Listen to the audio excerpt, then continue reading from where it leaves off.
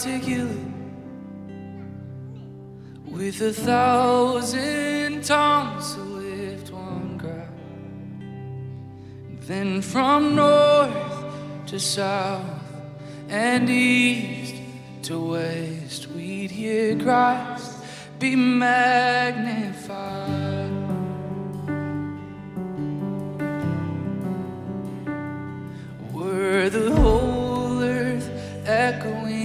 His eminence, his name would burst from sea and sky, from rivers to the mountain tops. We'd hear Christ be magnified.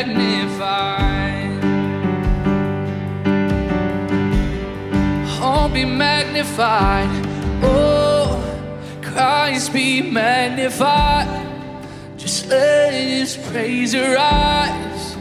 Christ be magnified in me. Singing, oh, Christ be magnified from the altar of my life.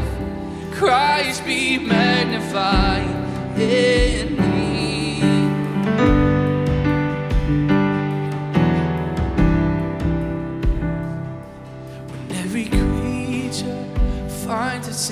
Inmost melody,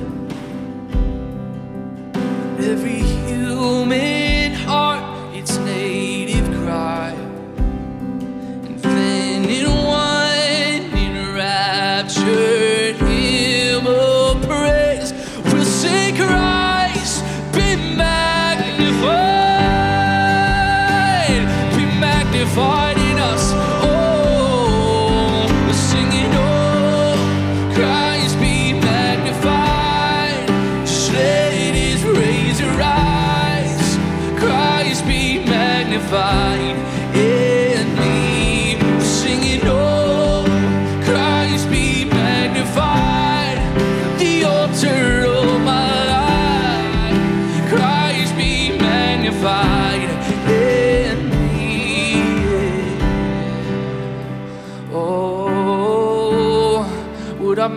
magnify your glory, God? Oh, less of me, more of you. Less of me, more of you. Oh, less of me, more of you.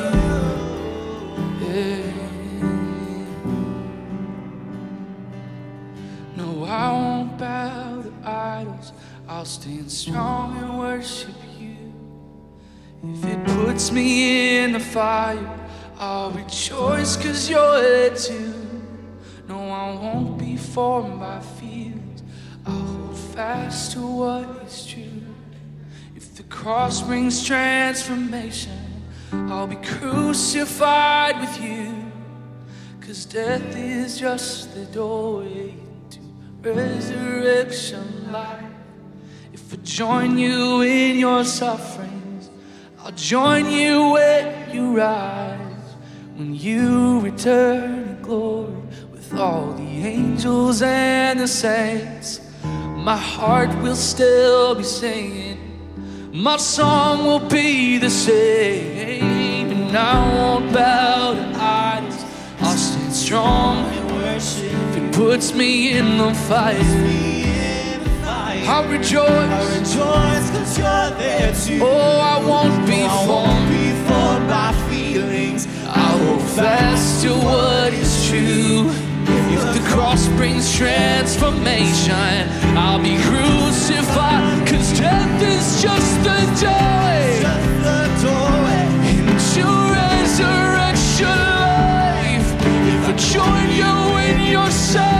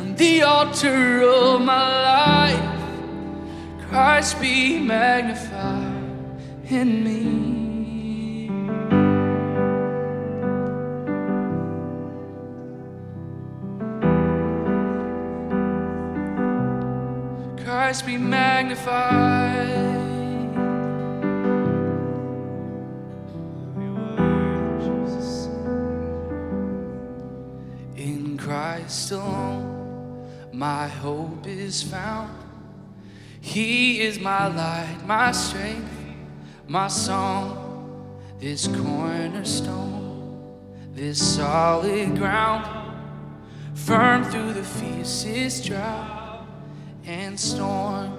What heights of love, what depths of peace, when fears are stilled, when striving cease, my comforter my all in all. Here in the love of Christ, I stand. Oh,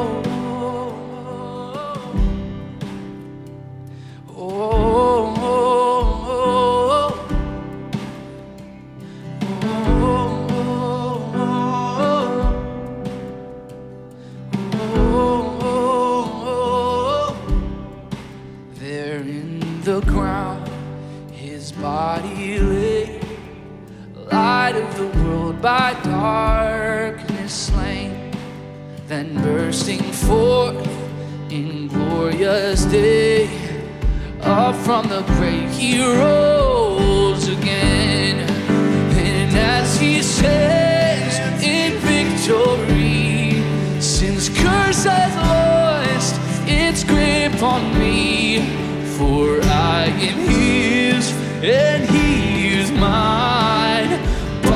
the precious blood of Christ. Oh,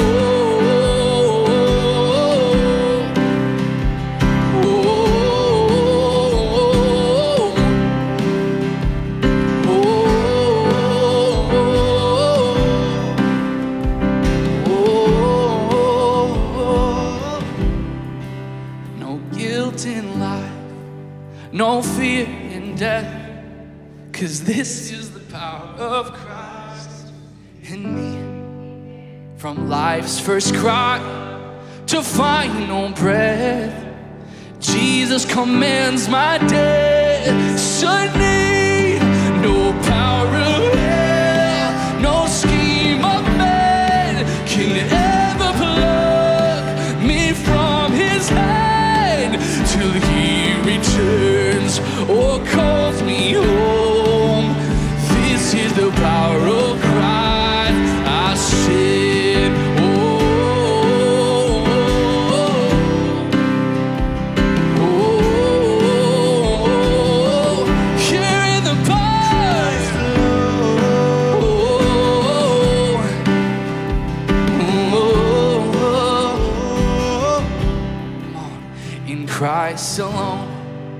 My hope is found. Every voice, He is my light, my strength, my song, this cornerstone, this solid ground, firm through the fiercest drought of storm. What heights of love, what depths of peace, when fears are still and striving cease. You're my comforter, my all in all.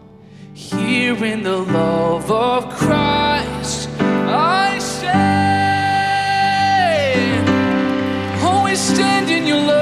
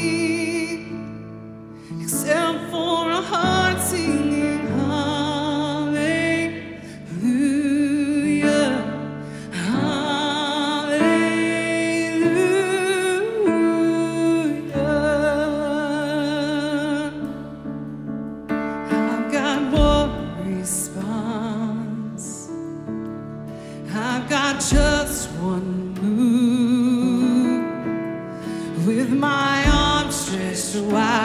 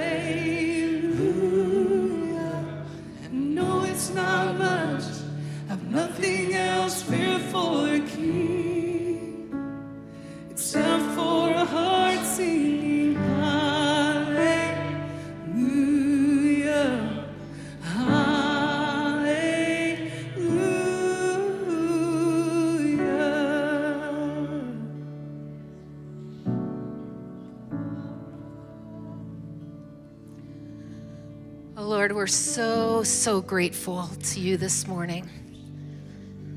And, uh, church, I would ask that um, as we're in this time of, of prayer and, and reflection, what's behind your hallelujah this morning?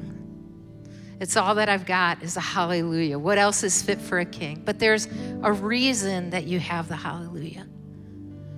So let's just take a moment and, in your own words, just express your gratitude. What is it that the Lord did for you this week? Where did He protect you that you weren't even aware of, maybe in the moment? Where has He brought provision for you? That's what's behind that hallelujah. It's that gratitude for what an amazing God we have that takes such love and care.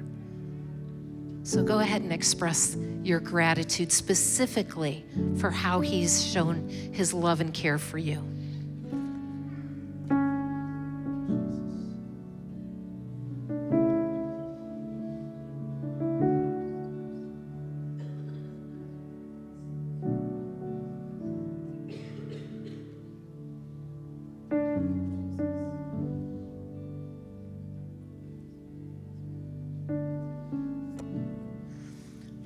Lord, forgive us where we've been shy in expression of our gratitude to you.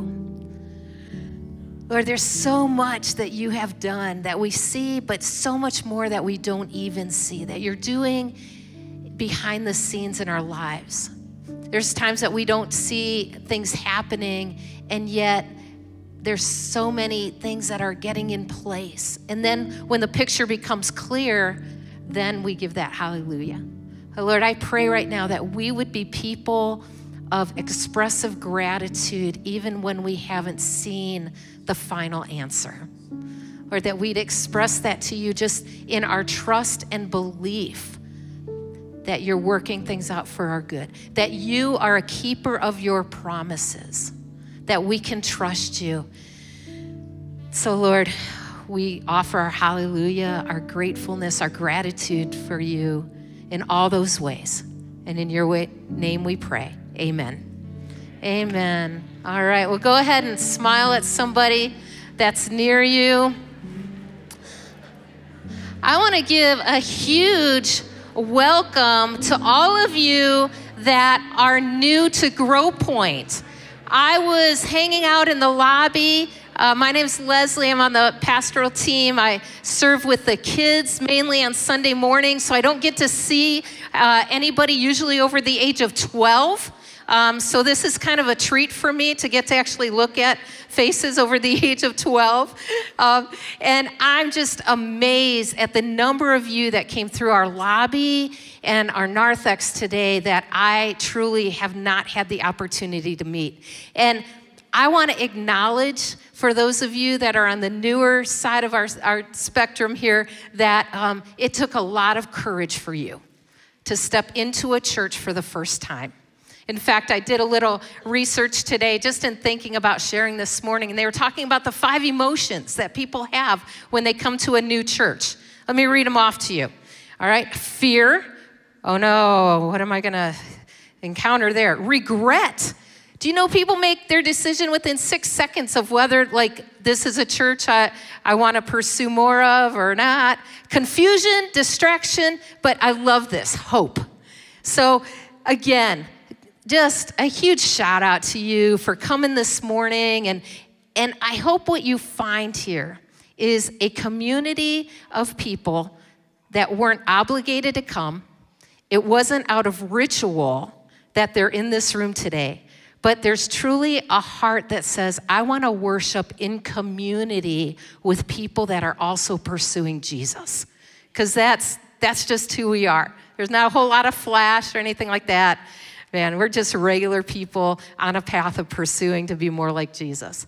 And I also know there's a lot more than just coming in the door, that there's a desire, or at least I would hope, a desire to connect with like minded Jesus pursuing people.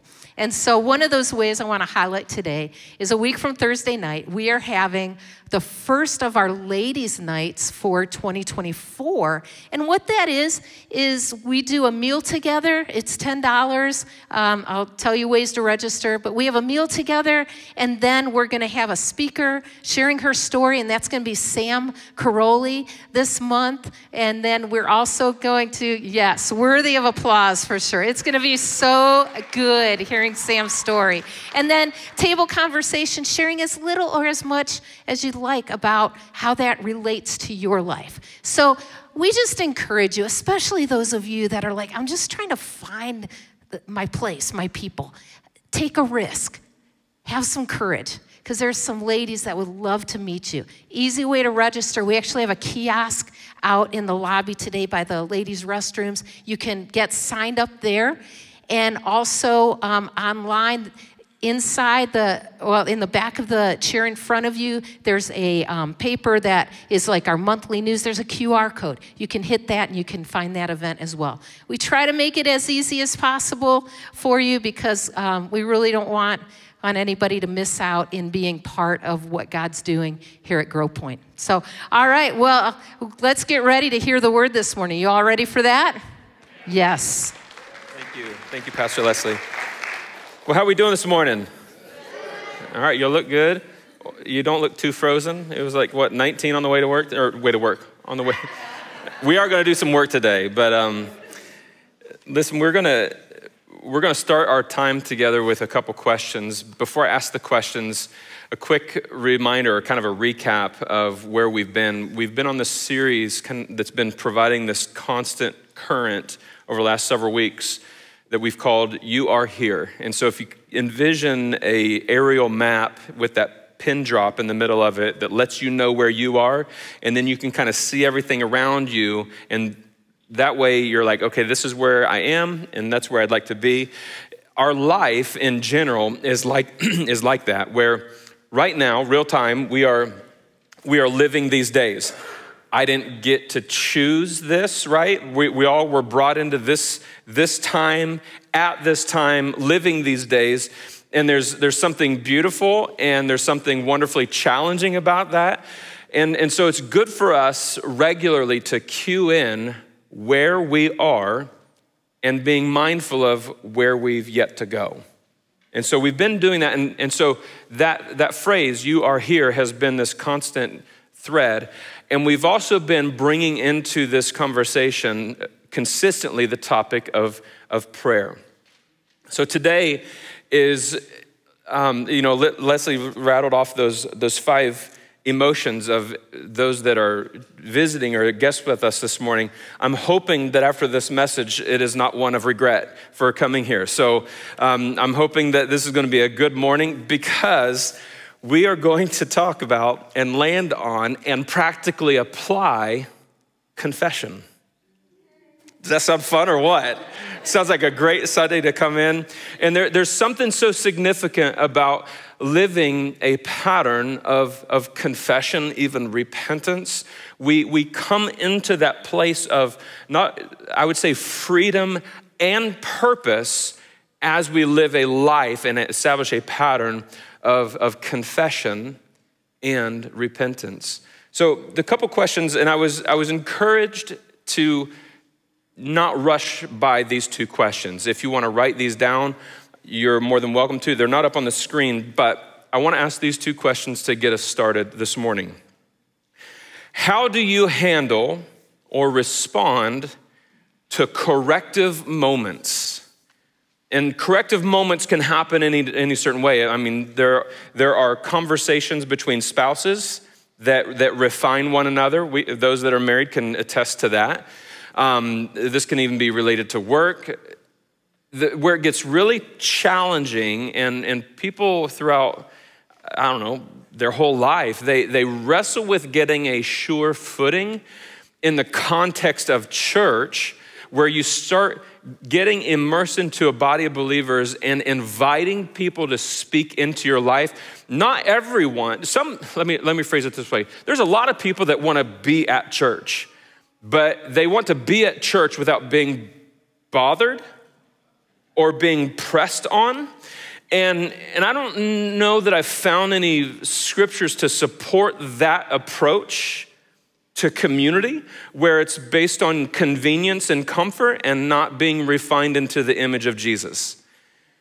In order for us to be refined into the image of Jesus, that requires not only conversations with one another, but also conversations with our Heavenly Father. I, I, think sometimes we have more comfort with conversations with our Heavenly Father than we do with one another.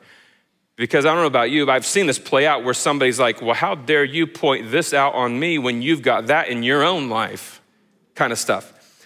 We, we could digress a whole bunch of different ways, but let me go back to that first question. How do you respond or handle corrective moments? Is your tendency to respond in humble confession or hubris concealment? And what I mean by that is you can do no wrong, even though you know you do wrong. And so, what you're going to do is work hard at a facade to give people the impression that you've got it together while never acknowledging the truth of what's going on behind the facade.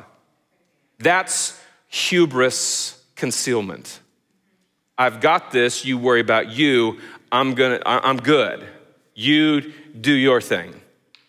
The second question is are confession and repentance familiar or foreign to you?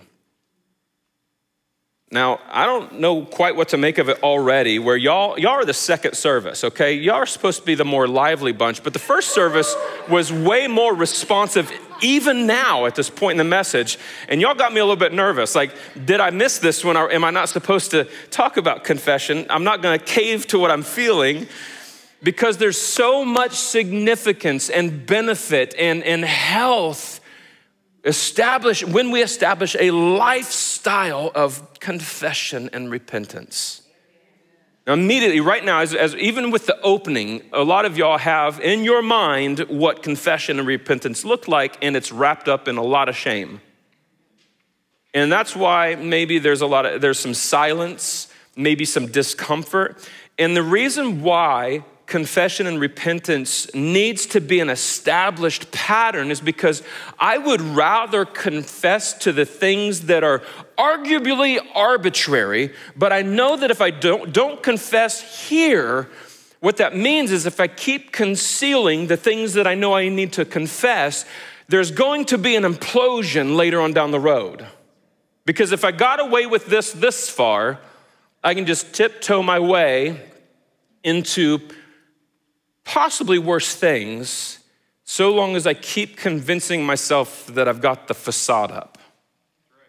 And so, if we, and this isn't just like we're gonna land on a story today that's like, oh, well, I don't deal with that, and that must be what this is all about. No, this comes up in every facet of who we are as a human being.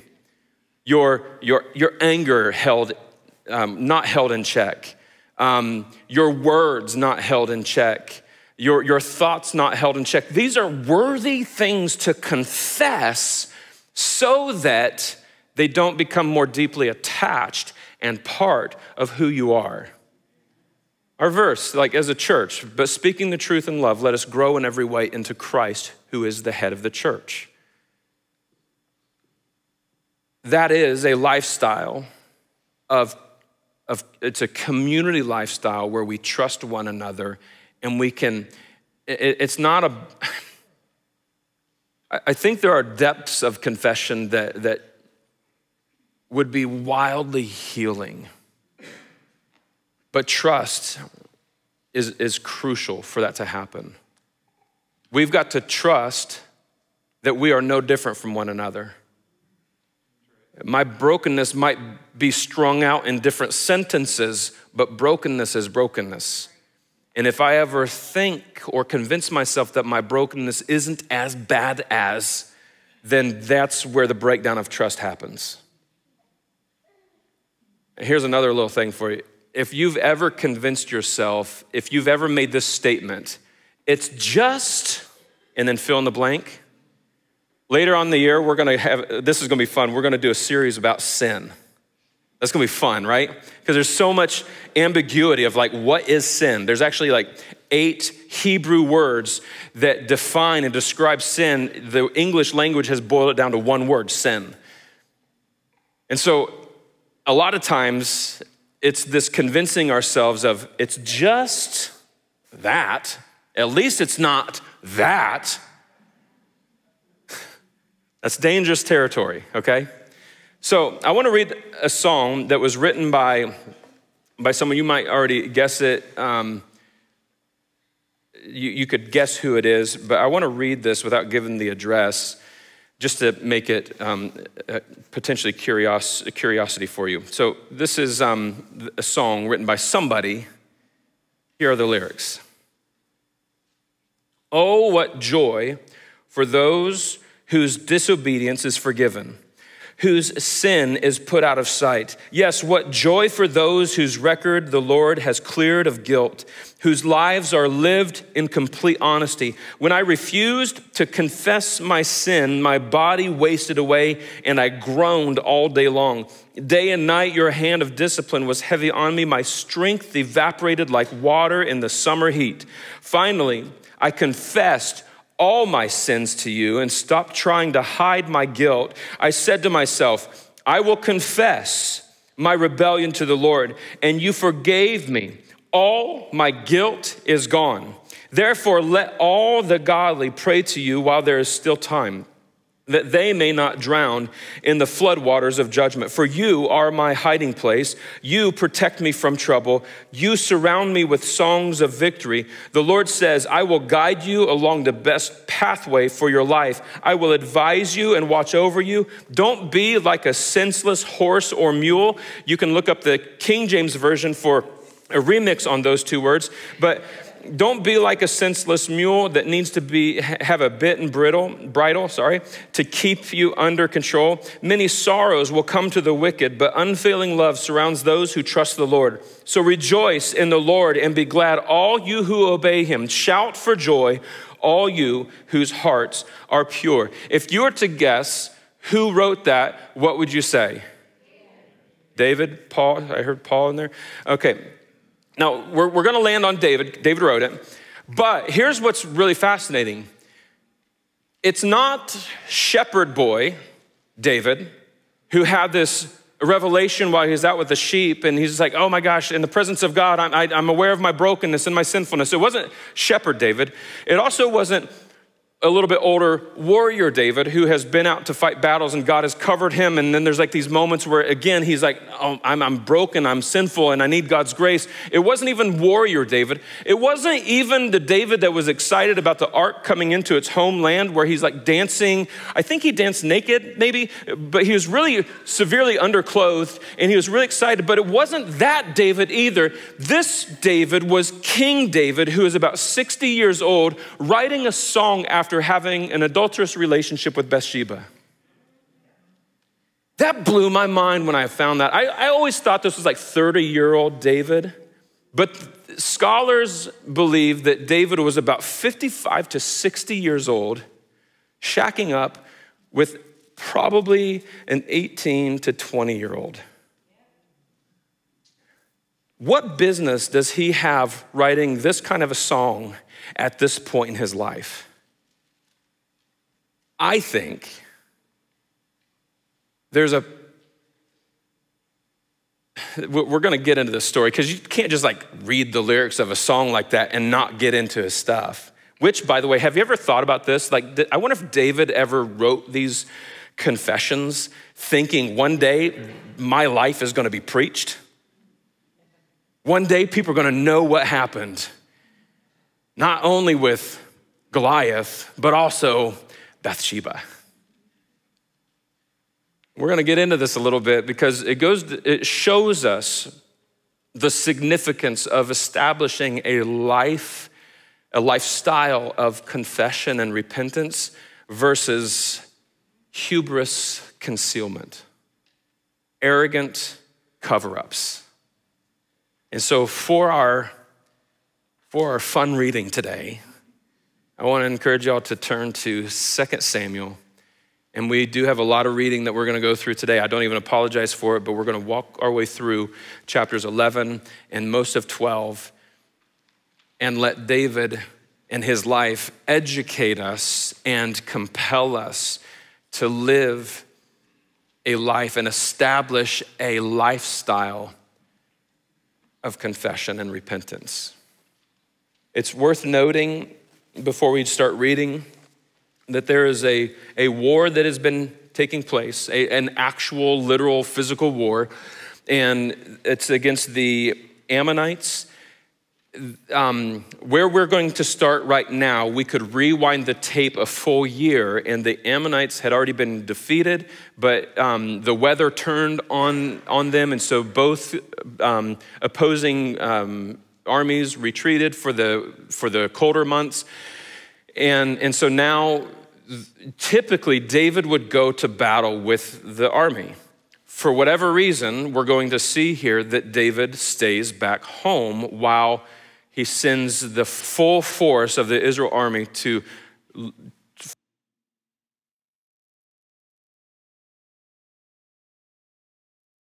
at the beginning.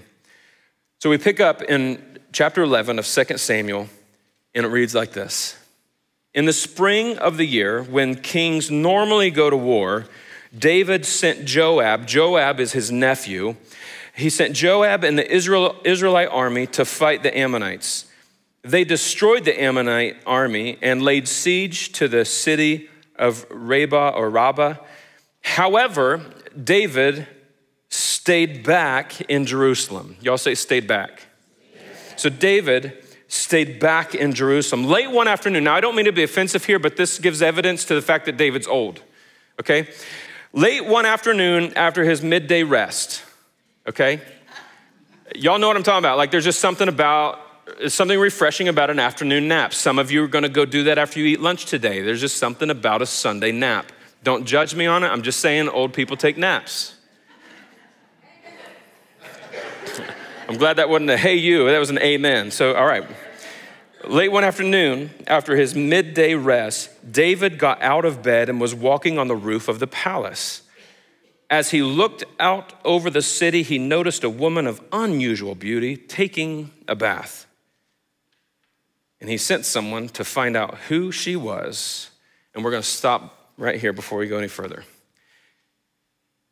We know he's older because he's taken midday naps. He's also like, I've fought enough. I just don't feel like wielding my sword anymore. And so he just stays back while the rest of the army goes out. And he begins walking on the roof of the palace. And, and it just says looking, looking. And then it uses a different word that he noticed. There's a big difference between looking and noticing. So, David, out there on the rooftop, and this woman of unusual beauty catches his eye. And rather than continue, continuing to look around, his glances became a gaze, a fixed gaze. And then that longing look caused him to be an investigator of who that woman is. Now, at this point in the story, if David had an established pattern of confession and repentance, he would not have sent messengers to figure out who Bathsheba was. He would have went to his advisors and been like, "Yo, um, I just woke up and I was strolling around on the rooftop and I caught a glance of some woman that I don't even know, and um, I'm just letting you know, I think I'm due for a second nap now, and I'm just gonna sleep this off. But I wanna confess that to you so that I'm held in check. My Bible doesn't read that way, though, because it goes on to say something different. There is no confession at that point. There is no repentance. I mean, you, and you might argue, well, there's nothing to repent of. Guys, you know. You, you know. You, you know when, uh, like, just a look turns into a fixation. And so he could have had a different conversation. And so rather than holding himself accountable, he sends some guys to give an account of this woman. And so they come back and they're like, all right, we did a little bit of research. This is who she is. Y'all want to, uh, it just gets, if we get into the story a little bit, it gets uncomfortable, okay? And I think it's okay to feel a little discomfort because it's just appropriate, right? So here's the research that got reported back to him. Now, it, it just mentions two names, Eliam and Uriah. But Eliam had a dad, and Eliam's dad is the grandfather of Bathsheba. Eliam was one of David's most trusted counselors. So he would advise David on things throughout the course of his life.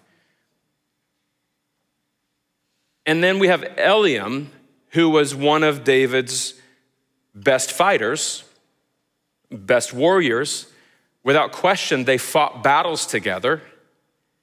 And then, if that wasn't enough familiarity or enough information for him, it also came back that Bathsheba was married to Uriah.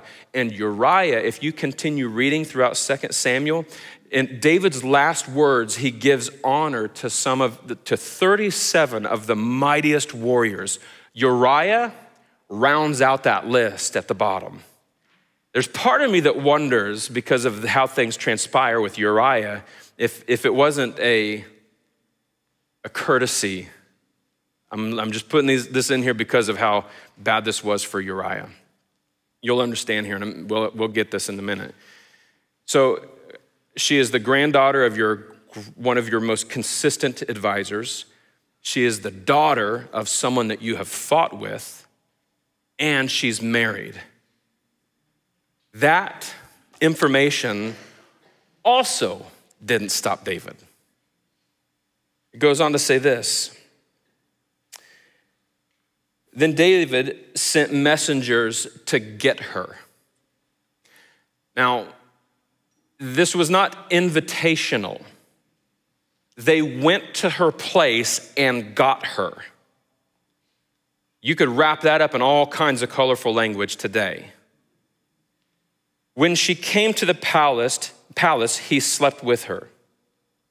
Now, here's some information that's, that's important just for as far as the storyline. She had just completed the purification rites after having a menstrual period. Then she returned home. Later, when Bathsheba discovered that she was pregnant, she sent David this really lengthy message saying, I'm pregnant.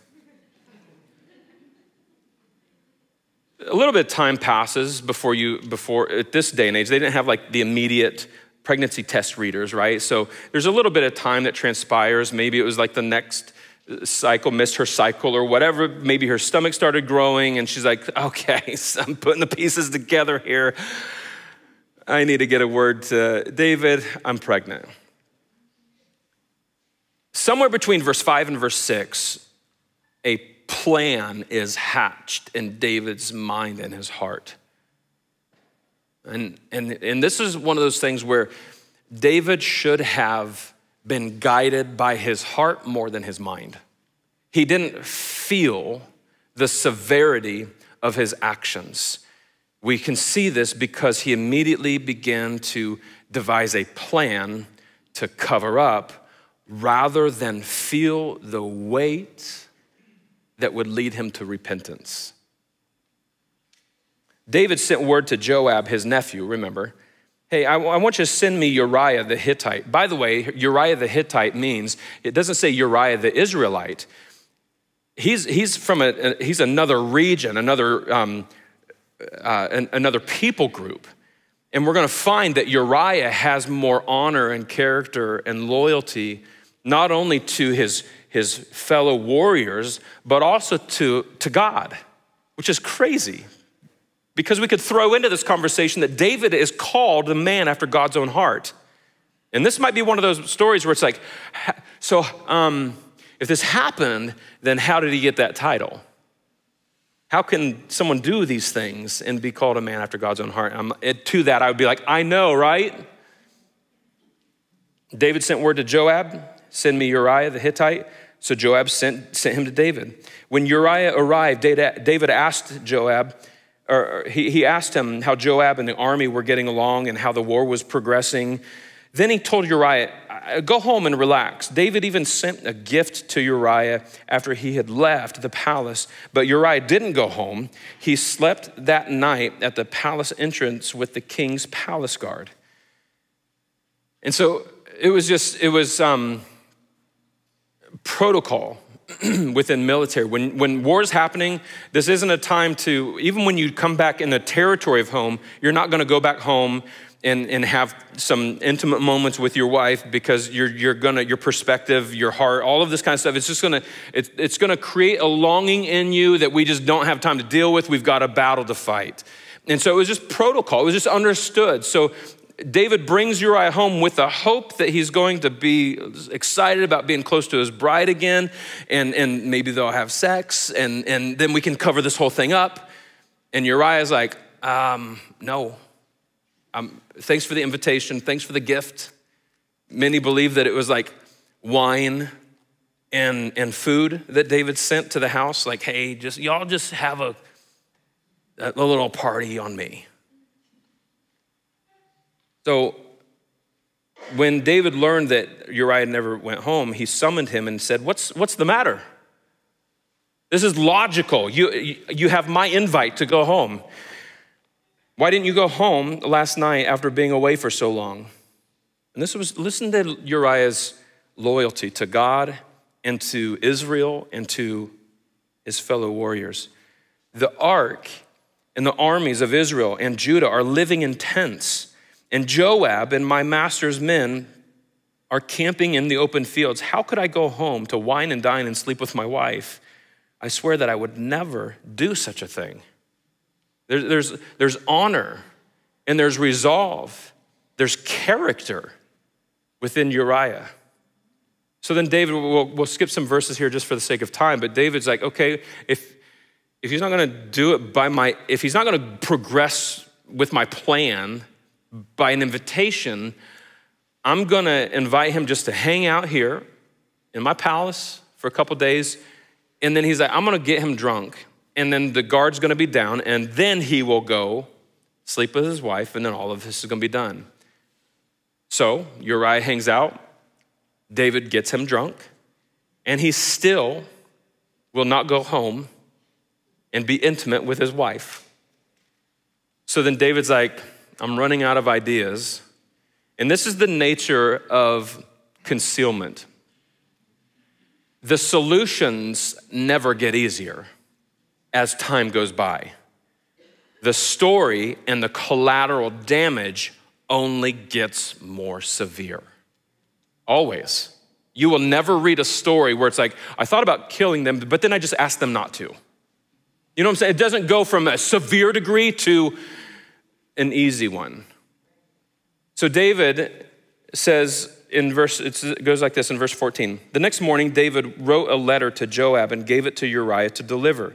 The letter instructed Joab, remember, uncle, nephew. David is sending Uriah back to his nephew with this note. I want you to station Uriah on the front lines where the battle is fiercest. Then pull back so that he will be killed. If I was Joab, I might have had some questions, right? So, uncle, um, what? This makes no sense. What, and, and Joab would have known the character of Uriah as well. So, this, like, what did Uriah do while he was gone to deserve such orders? And what's, what's crazy about this, Uriah goes to Joab carrying a letter with his death sentence. Crazy. So all of that happened. We, will skip over it. Um, they, they, they went right at that, the, that particular city where the fiercest battle was taking place. They withdrew. Uriah died. And so they were nervous about giving this report, this loss report, coming back to David. So Joab was like, when you give that re- update, just be sure that you end it by saying, Uriah's dead. He's been killed. Listen to how concerned David is for Uriah dying. After the report came to David, it says this in verse 25. Well, tell Joab not to be discouraged, David said. The sword devours this one today and that one tomorrow. Fight harder next time and conquer the city. It's, it's wild, right? Keep bringing into this conversation a man after God's own heart, a man after God's own heart, adulterer, murderer, concealer. When Uriah's wife heard that her husband was dead, she mourned for him. And when the period of mourning was over, David sent for her and brought her to the palace, and she became one of his wives. Then she gave birth to a son. So we know that, you think about this. We're reading this in a matter of minutes. This is a matter of nine months being played out, right? And the chapter, chapter 11 ends this way. But the Lord was displeased with what David had done. There, there's a sneaky lie that, that rests within trying to conceal things. It's the lie that God doesn't see it. It's the lie that we, we can convince ourselves like, I can hide this in front of other humanity, simultaneously hiding this from God. This is what's remarkable about, remarkable about God's love for us. He sees everything. And, and I don't say that in a way of to strike this big brother kind of fear within us, but he sees everything. And even with him seeing every thought, every emotion, every, um, every motivation, he still pursues us. And his desire for us is that all of this concealing and constructing and facading and covering up. He's like, man, the part that grieves him the most is how much it deteriorates who we are.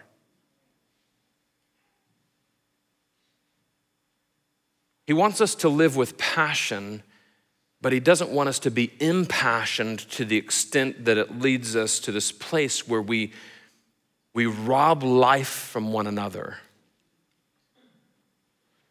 So, this is how God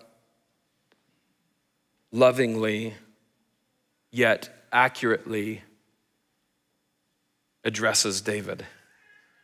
God sends the prophet Nathan this is where we begin in chapter 12 to share with David a story. It's a parable. Some think it's a parable, it's just, it's just a story. And without reading it word for word, this is the gist of the story. There was a really rich man who had a lot of cattle, a lot of sheep, um, just surplus, right? And, and then there was a, a very poor individual who had a prized lamb or prized sheep. It, this, this animal was such um, uh, uh, bless you, it was so special to the family that the, it even ate from the table, okay? It was that dear to him. So the rich man had a guest come to his house, and they're like, let's prepare a meal.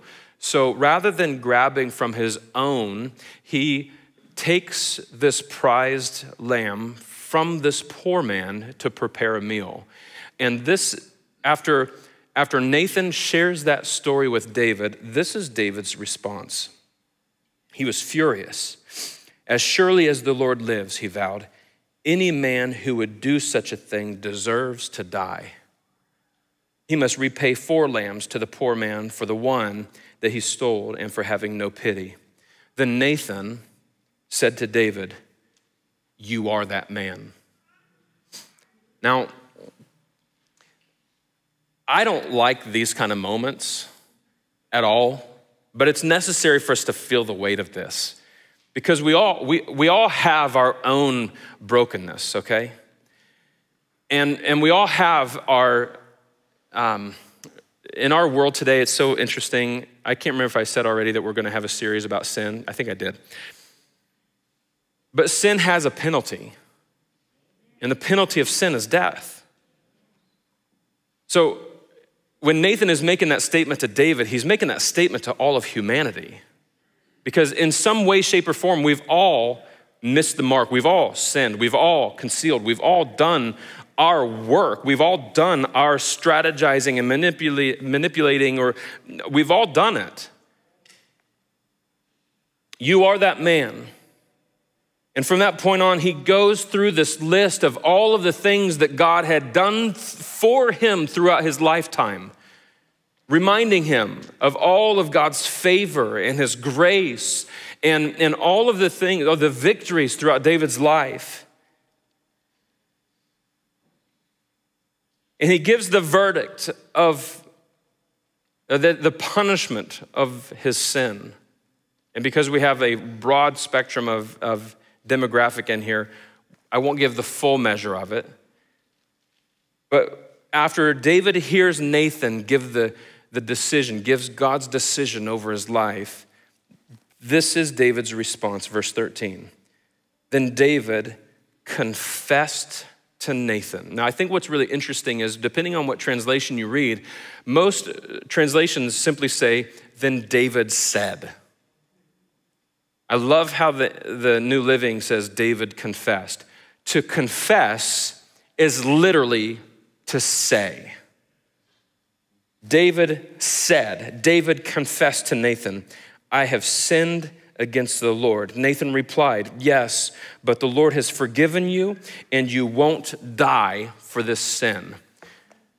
It doesn't get much better beyond that point, but we'll stop right there. All of this could have been circumvented had David established a pattern of repentance and confession. But because he was so filled with this desire for the one that he was glancing at from the rooftop, And because confession was not part of his life, we, have, we, we arrive at this place where, yes, there's forgiveness and you're not gonna die for this, but there are still repercussions for your decisions.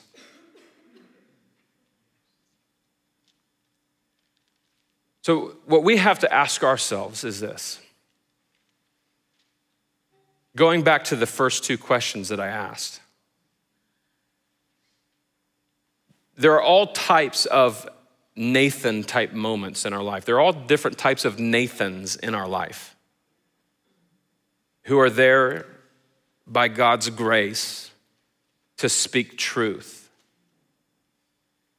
Is our response one of humble confession or arrogant concealment. I keep mentioning this book that I, I, I read earlier, um, late last year into this year, called uh, Praying Like Monks, Living Like Fools. And, and I just love, love, love how he words and how he um, encourages prayer, but specifically that he has one chapter called Search Me and Know Me. And this is on page 83. It won't be up on the screen, but just listen to these words. The desperate need of our time is not for successful Christians, popular Christians, or winsome Christians. It's for deep Christians. And the only way to become a deep Christian is through the inner excavation called confession. The pathway to spiritual maturity is a descent, not an ascent. A maturing community, and this is the part that just got me. And pastorally speaking, this is my hope as we continue to be a community compelled by grace to grow. This is my hope for GrowPoint a maturing community is a confessing community, not a church without sin, but a church without secrets.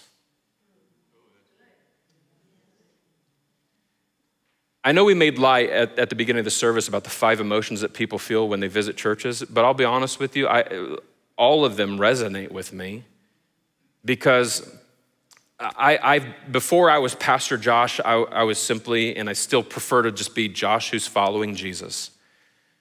And throughout my 44 years of life, I have seen plenty of church expressions where people excel at a facade, yet ignore the termite wood, termite eaten wood that's holding up the facade. And so I'm just gonna come in and present my smile and say the churchy lingo and ignore the real stuff in my heart or in my mind, my motives. And, and when, you, when you get a taste of that, anybody would be nauseated by church. Who would want to be a part of it? Now, here's, what, here's where the rubber meets the road for this moment here. We can't say that we have a distaste for it and yet still be reluctant to confess. Does that make sense? We can't have an attitude towards th- things that we don't like about church and us not take steps away from the direction that we don't like. Otherwise, uh, we're no different, right? Amen. Okay.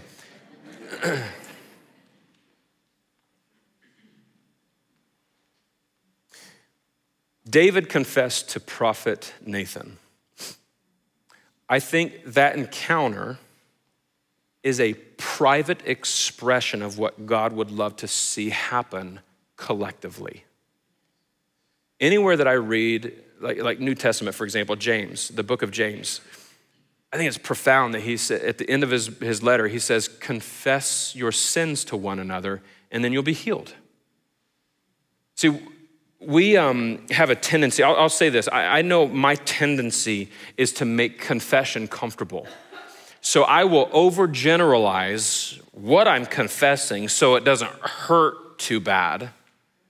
And I don't even mind confessing in, a collective place. Like there's, there's, when I was researching this, I was like, how do you, because I was, I was curious, how do you lead a corporate confession? And I thought about having some, some prayer written on the screen that we would all say together, but even that is so comfortable. Well, we're all reading the same thing, acknowledging our sin. Yeah, but it's, it's so generalized. What would it look like for a maturing community to be a confessing community? What would it look like to have a church not without sin, but without secrets? How could we trustingly be transparent with one another and even specific with one another? I'm convinced that there's something profoundly refining and life giving if we can get comfortable with the discomfort of confession.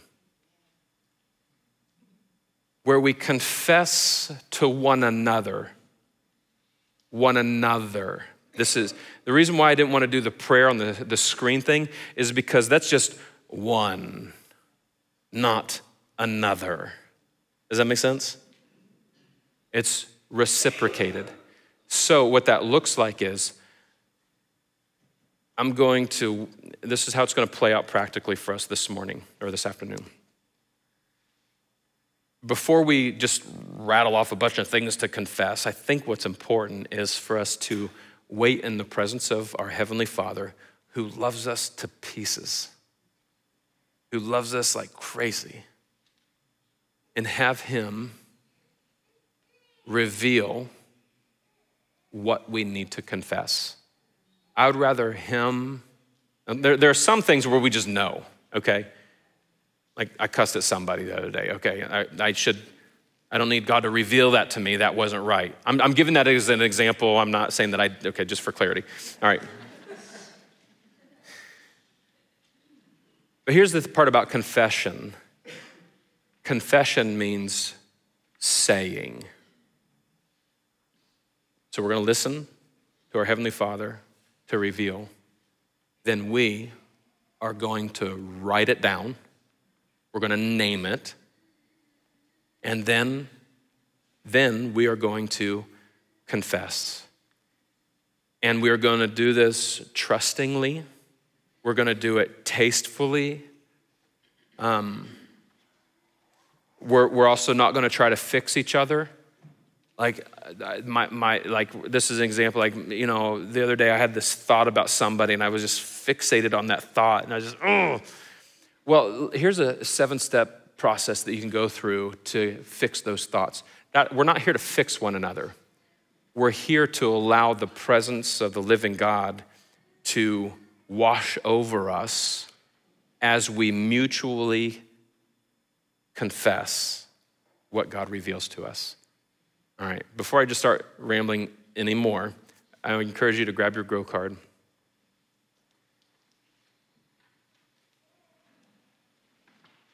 And even right now, Heavenly Father, my prayer and this invitation is for you to speak.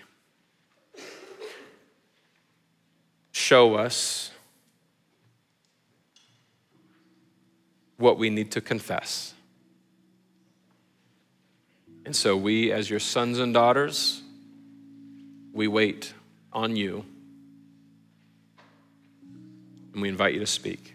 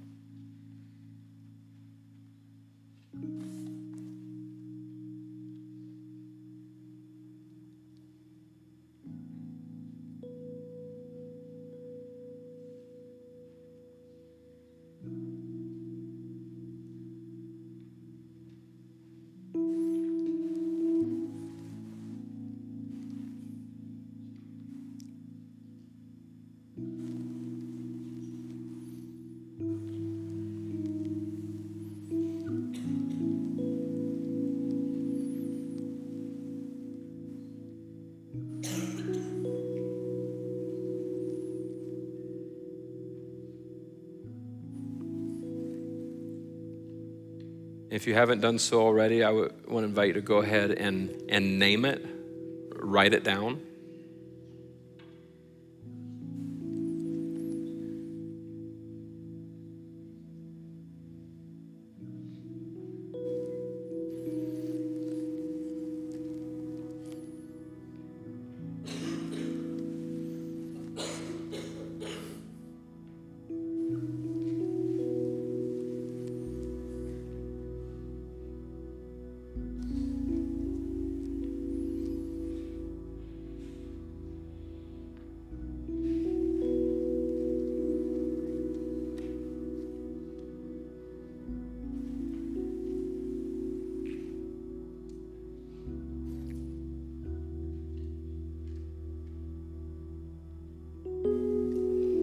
Where the, the life happens.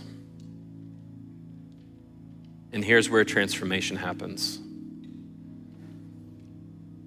I'm not saying that you're going to feel something or something crazy is going to, but what I am going to say is that this expression and this demonstration of confession is healing your soul, your heart, and your mind in intricate ways that are beyond description. And so this is what, what I'm going to encourage us to do is for you to say what you wrote to someone that you're close by and don't let it just say okay here's mine what's yours but share what you wrote but then one of you or both of you can pray, offering a prayer of gratitude for the healing that happens with confession. All right? So the rest is on you. Go ahead and let's practice confession right now. Go ahead.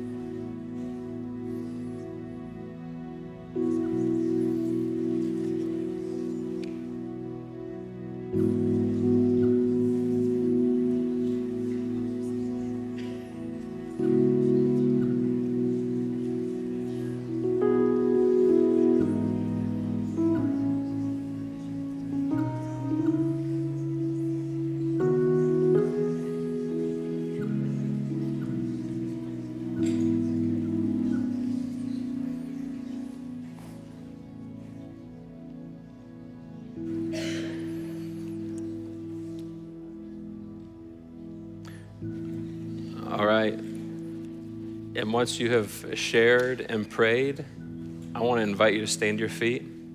I don't want to stretch this out too long.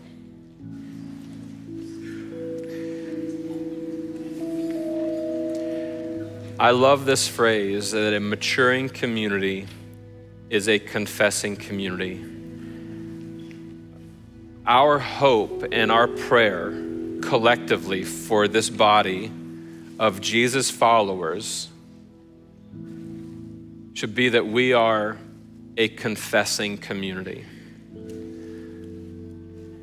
If we say that we don't have sin, we make Jesus out to be a liar. So, we know that he died on the cross because humanity needed that to happen. None of us are without sin. Therefore, none of our lives should be without confession. And I promise you that if we establish a pattern of confessing with one another, the richness of being part of the body of Christ will be so, so healing. And there's something so refreshing and so good about living life free rather than living life putting on the facade. A facade is exhausting. So, Heavenly Father, I pray that we would be people who don't walk around with this shiny veneer, but that we are people who have invited you into every space of our being. And whatever you reveal and whatever you bring to the surface, we want to have this established, genuine practice of confessing. We love you. We thank you for your goodness. In Jesus' name, amen. All right, y'all. Go ahead, all you old people, take your afternoon nap. All right? we love y'all. Have a good Sunday.